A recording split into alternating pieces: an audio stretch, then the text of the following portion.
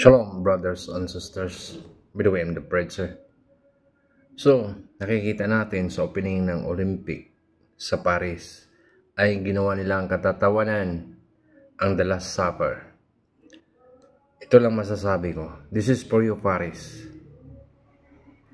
You Last Supper shall be your suffering in this coming weeks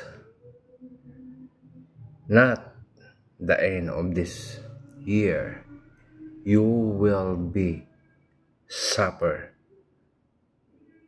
what you are mocking about the Lord Jesus Christ. Tandaan nyo yan. To those who mock God and Christ shall be perished in this world. Shalom, everyone.